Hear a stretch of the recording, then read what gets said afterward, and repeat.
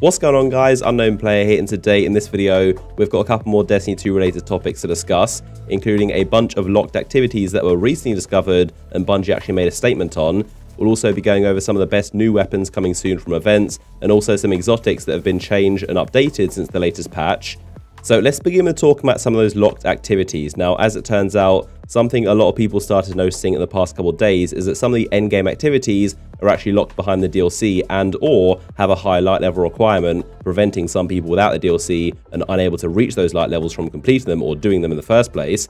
The most notable activity was Trials of the Nine, which you full stop couldn't play without the DLC. The Prestige Raid was also now 330, the Prestige Nightfall was similar, and also the Heroic Strike playlist, which of course was a standard feature ever since the launch of Destiny 1, but wasn't in Destiny 2 at launch, but now requires the DLC to play full stop.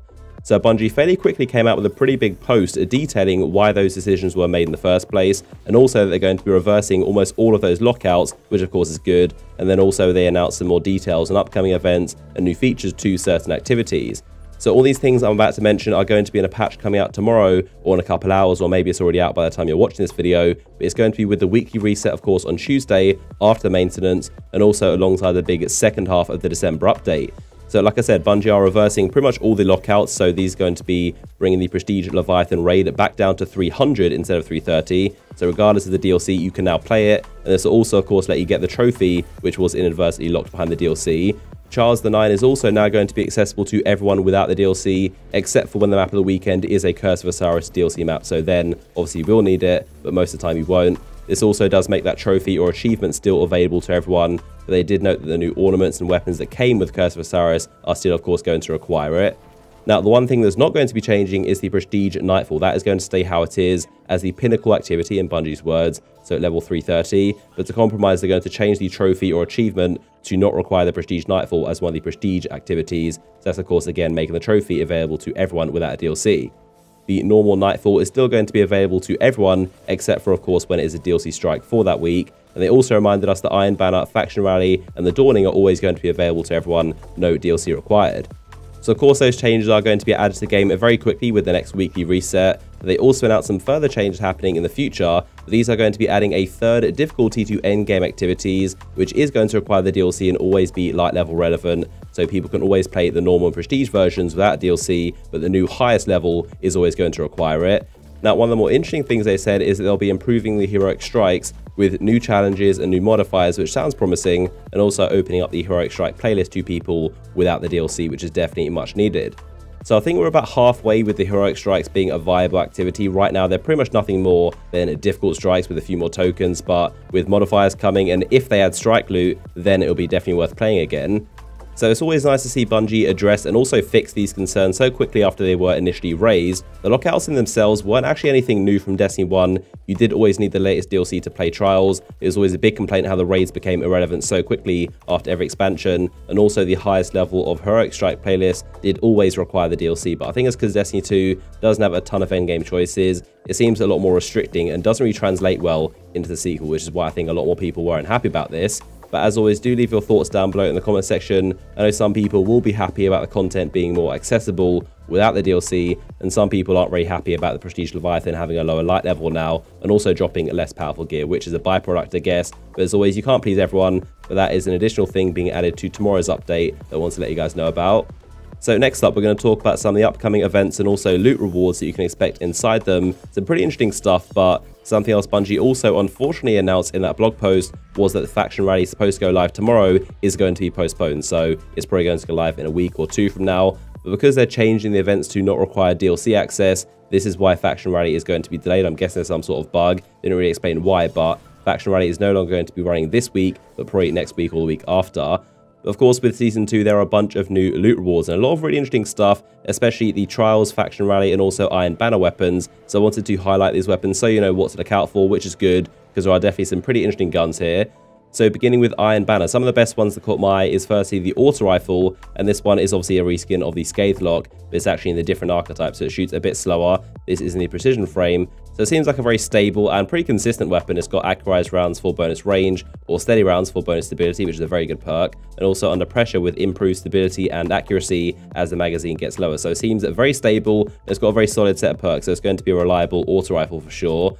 There's also the Pulse Rifle looking very similar to the Raid Pulse. This thing also has Outlaw, but it seems to have a bit of a faster reload because you can choose between a mag for a bigger magazine or drop mag for even faster reload. So it seems very similar. It's also in the adaptive frame. So if you haven't done the Raid, then this is a pretty good alternative from PvP. There's also a Veist Scout Rifle. Now, this one, of course, is going to be energy, and this one has Dragonfly. So, of course, again, just like Outlaw, is nowhere near as good as it was in Destiny 1, but it's a decent perk. But this one also has high caliber rounds and extended mag, so it seems pretty good for PvE. They're also adding an Iron Banner shotgun, and this one is going to be in the precision frame with accurized rounds for bonus range, and also opening shot, so that first bullet is going to have even more range and bonus accuracy as well. Pretty good for PvP.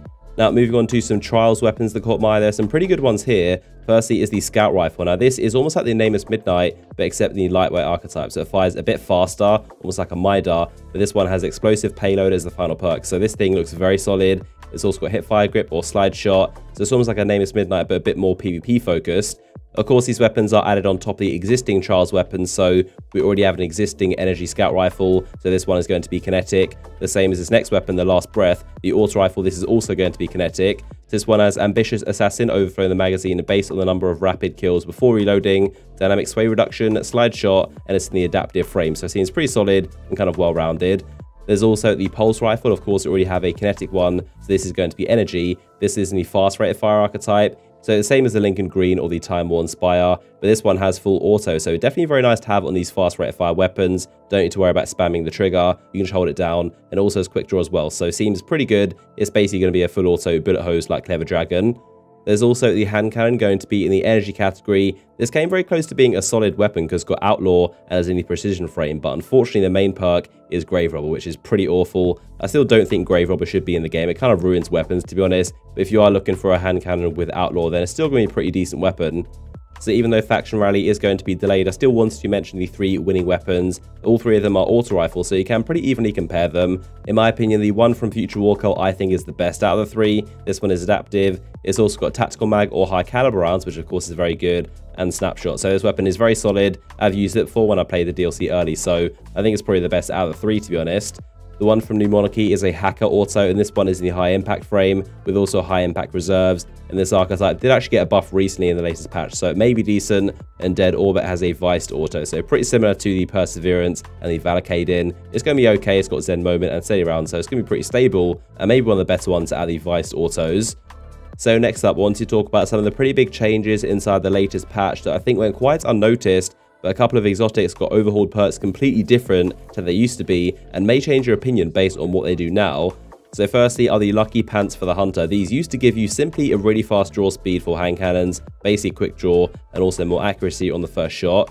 But now they have a unique perk completely different where every precision hit you get with a weapon is going to reload that bullet into a stowed hand cannon. So you can essentially empty your hand cannon and then swap out for another weapon. Each precision hit, not even a kill you get, is going to give you one bullet into that hand cannon you put away. So it kind of reloads it for you and you kind of swap back and forward.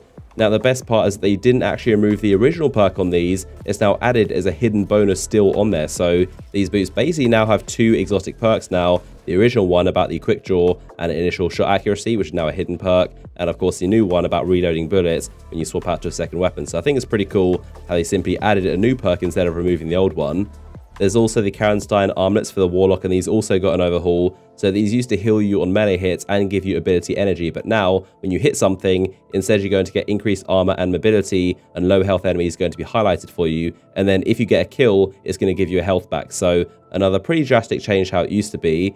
There's also the Fighting Lion, which is now updated, and this is not completely useless like it was before. I tried it out, but it doesn't seem too fantastic. It is definitely better, but it's still quite a pain to use. You have to be really accurate with the thing and try not to miss, which is very hard with a grenade launcher like this, but it's definitely better, but not fantastic in my opinion. They did also fix a bunch of bugs on the Mask of the Quiet One, ACD slash Zero Feedback Fence, the Starfire Protocol, Peacekeepers, Dunemarchers, and the Darcy. So not really buffs, but fix some things that prevented them from being as good as they were supposed to be. But I want to see a lot more exotics get updated and for Bungie to not be afraid to buff them, especially in PvE. I think the Skyburner's Oath, for example, needs a ton more damage, and also if it could do like 10 or 20% more damage to Cabal. The Rat King as well needs a ton of stuff improved by it. And there's quite a lot of exotic armor pieces that I think are just pretty bland and forgettable. I want to see a lot more stuff like Orpheus Rig that should be the benchmark, in my opinion, of how exotics should be and how they give you pretty much a new ability and playstyle. But it's a start. They said they are going to continue to improve exotics, and let me know down below in the comment section which ones you think should be improved and buffed. So as always, if you enjoyed the video and would like to support the channel, then a like rating down below would be awesome. I really do appreciate all the constant support. We just passed 800,000 subscribers, so massive thanks to you guys for that. Look out for a video tomorrow covering the Masterworks weapons, all the other stuff inside the update. Should be a pretty big one, but until then, you can click the image on screen to watch a recent video I made, and I'll see you guys next one.